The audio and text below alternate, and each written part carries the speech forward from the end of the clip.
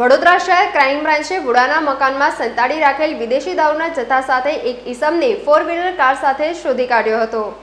Crime બ્રાન્ચની team patrolling દરમિયાન માહિતી કે બાપોદુડાના મકાનમાં રહેતા ભાવેશ ચંદ્રકાંત રાજપૂત નાઓએ પોતાના આર્થિક ફાયદા સારું બાપોદ પાણીની ટાંકી પાસે આવેલ બુડાના મકાન બ્લોક નંબર ચાર, મકાન નંબર ત્રણમાં ગેરકાયદેસર ભારતીય બનાવટના વિદેશી દાવનો જથ્થો સંતાડેલ છે અને પોતે તથા પોતાના મળતિયાઓ મારફતે સદર વિદેશી દાવનો જથ્થો સગે વગે કરી નાખવાની પેરવીમાં છે તેવી માહિતી મળતા જેથી માહિતીવાળી જગ્યાએથી ઈસમ નામે નરેન્દ્રકુમાર ઉર્ફે ભલિયો રમેશભાઈ પરમાર રહે કિશનવાડી ગુનાના મકાન આજવારોડ વડોદરાનો મળી આવેલ સદર ઈસમની અંગઝડતીમાંથી વિવો મોબાઈલ ફોન તથા રોકડ ત્રણ હજાર મળી આવેલ સદર ઈસમની સઘન પૂછપરછમાં કરતા ભાવેશ ચંદ્રકાંત રાજપૂત તેના મકાનમાં તેમજ વિદેશી દારૂનો જથ્થો હેરાફેરી કરવા રાખેલ.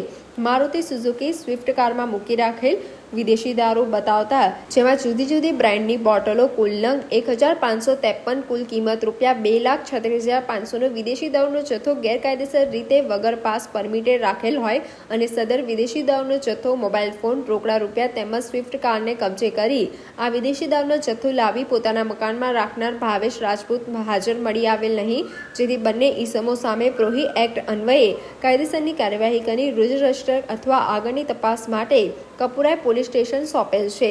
આરોપી નરેન્દ્રકુમાર ઉર્ફે ભલિયો રમેશભાઈ પરનાલની વિરુદ્ધમાં બે વખત દારૂ પીધેલ હાલતમાં પકડાયા અંગેના વાડી તથા પાણીગેટ પોલીસ સ્ટેશનમાં કેસ નોંધાયેલ છે.